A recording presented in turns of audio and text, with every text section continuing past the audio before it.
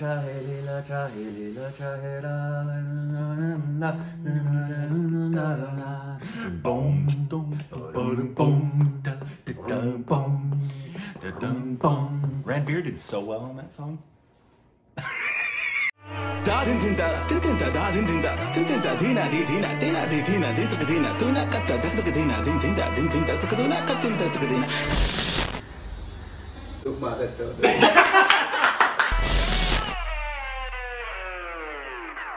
Hey, welcome back to our Stupid Reactions. It's up Korbin. I'm Rick. You can folloh us on Instagram, Instagram, Twitter, Twitter. more juice content. It's so juicy.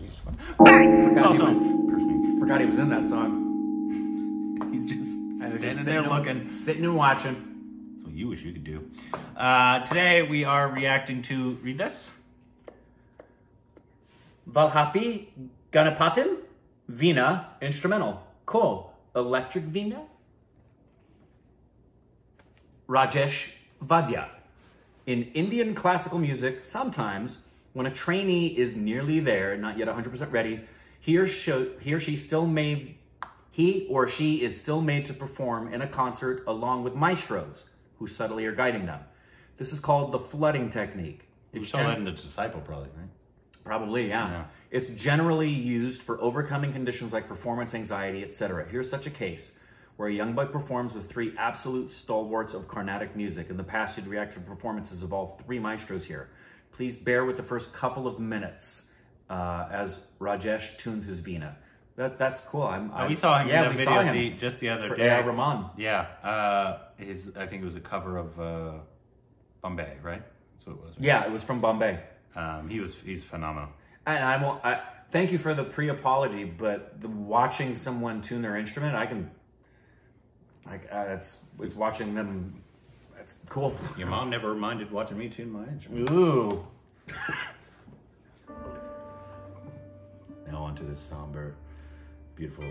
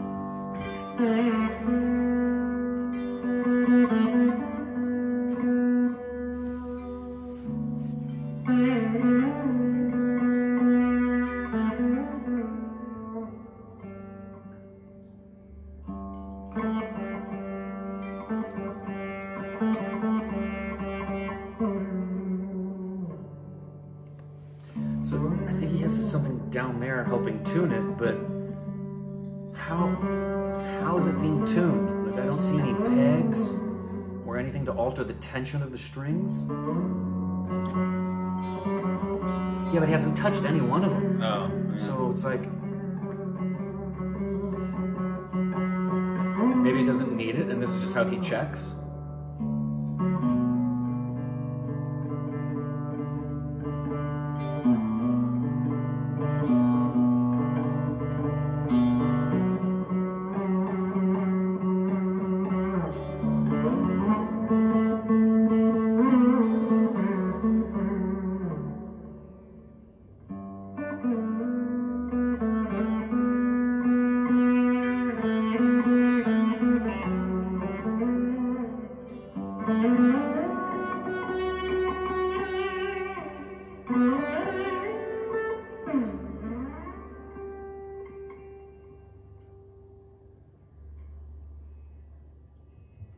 That was freaking cool. How often does an instrument need to be tuned? Depends on the instrument. and the atmosphere.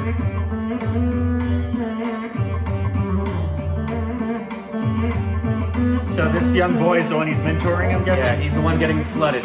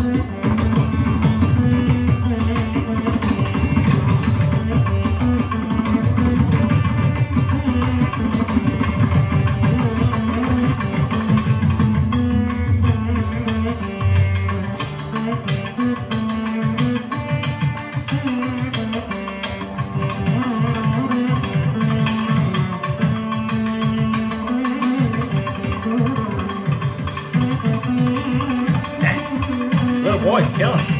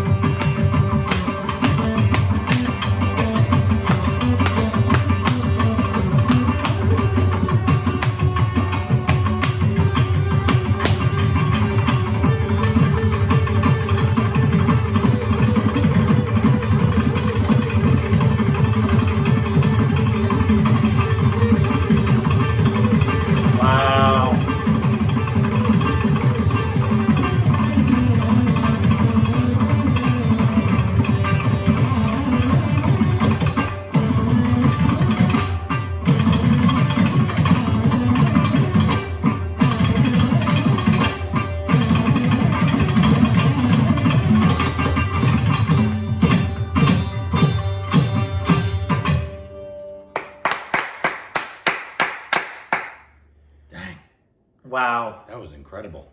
That was so great. Uh, I don't think I stopped smiling for one minute throughout the whole video. They're all so good, and uh, and that kid was rocking it, man. Rocking He it. was. This guy reminded me of. He almost has like a Pankaj Tripathi face. He's very sweet face. Very sweet faced, yeah. It's, sorry, he just reminded me. I was like, oh, if Pankaj was the I don't know what instrument that's called percussionist. That's who he would be. oh yeah, that was that was fantastic. So good. And I love it's proper discipleship of, of young people to let them be a part with you. Uh, and I, I, I love that it's just called that it's called flooding because it's not going to matter and it's not even going to matter age wise. I, I talk age wise.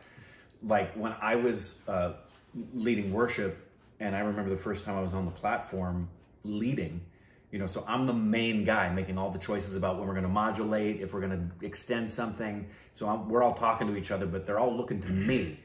And on the drums is Bill Maxwell, who is a drummer that is a jazz legend with a band called Open Hands. Anybody in the jazz world knows Bill. He may be in the Jazz Hall of Fame.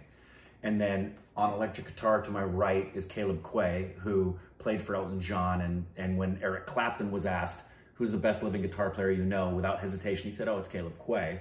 And then I got Pedro Eustache on the winds over there, who is considered the greatest living woodwind player among many. And they're looking at me.